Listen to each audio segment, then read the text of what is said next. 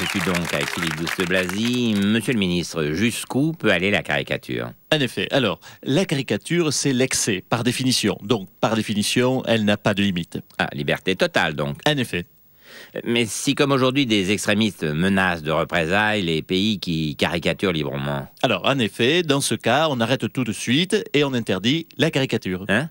Ah oui, donc euh, la liberté totale, sauf si les gens sont pas contents. Ah ben oui, Mais c'est la porte ouverte à la censure, ça, non? Pas du tout, non. Il faut caricaturer avec intelligence, avec finesse. La critique, oui, mais de qualité. C'est-à-dire En effet, j'y viens. Tenez, ce matin, dans l'Humanité. Ah, Vous lisez l'humanité, vous? Bah oui, je suis communiste. Euh, je suis bien communiste. Euh, non. Ah, autant pour moi. Mais baste, euh, tenez, ce dessin dans l'humain, ah, il est corrosif, incisif, hein, d'une violence inouïe. Euh, ouais. Oh ben, tout de même, regardez, le chien dit « Il a neigé, que dirais-tu d'une partie de pétanque d'hiver ?» Le chat, là, répond « Comment y joue-t-on ?» Et là, le chien sort, saisit une boule de neige et la jette, comme on peut le voir là, avec violence sur la tête du chat. Tu fais le cochonnet, le reste c'est comme la pétanque d'été, lui dit-il. Ouais, ouais, ouais, ouais. Et qu'est-ce qu'il y a de corrosif là-dedans? Mais c'est évident, tout le monde sait que les chiens n'aiment pas les chats.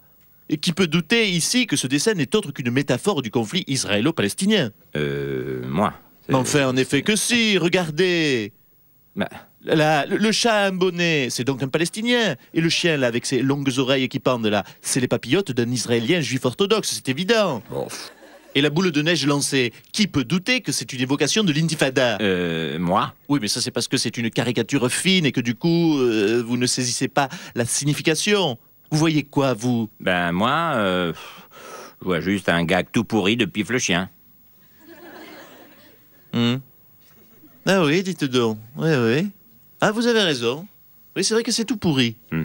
C'est une bonne leçon, faut pas rentrer dans l'analyse, faut rester sur le principe.